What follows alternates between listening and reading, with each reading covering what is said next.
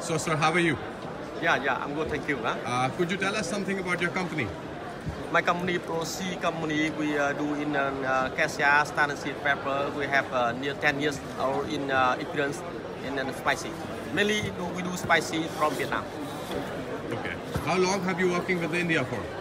Uh, with the Indian market, Yeah, yeah, six years. six years. How, how has your experience been? Speed. Your, how has your experience been?